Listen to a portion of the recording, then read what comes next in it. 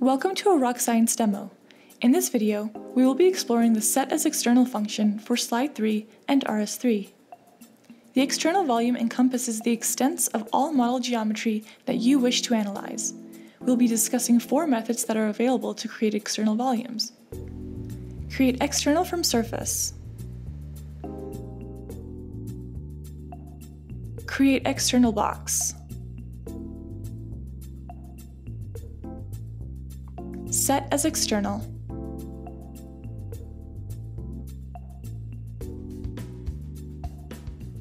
And add to external.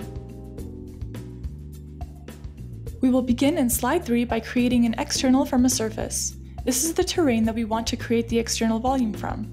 Select the entity and navigate to the geometry menu. Select Create External from Surface. A dialog should appear and will give you the approximate depth that will be extruded from the entity. Should you want to change this depth, you may preview your changes at any time using the preview option. After selecting OK, the box will be locked as we will now have one external entity for the model. We can clear the external at any time by selecting the external volume, navigating to the geometry menu, and selecting Clear External. Staying in slide 3, we'll now make an external volume by creating an external box. Have your entity open and navigate to the geometry menu. Select Create External Box. We will adjust the size to be slightly smaller than the extent of the surface imported.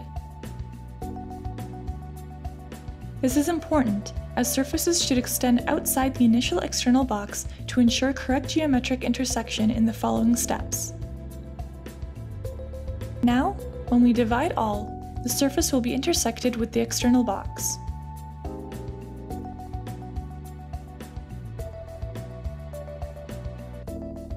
Staying in slide 3, we've imported a pre-existing geometric entity that we want to set up as a model. We would like to set one of the entities as external. You may select a single object, navigate to the geometry menu, and click Set as External.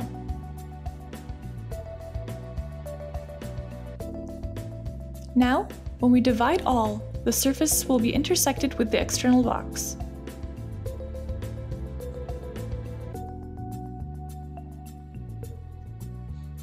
We'll now move on to RS3 where we've imported a terrain that we want to add an embankment on top of. The terrain is an extruded polygon. We'll now select our second entity which is our embankment. Notice that the terrain entity is locked because it is our external volume that we want to add the embankment to. Navigate to the geometry menu and select Add to External. The second entity is now linked with the external volume but still remains an independent entity that can be defined.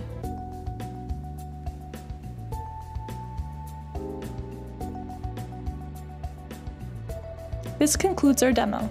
Please check our playlist for more videos and demos.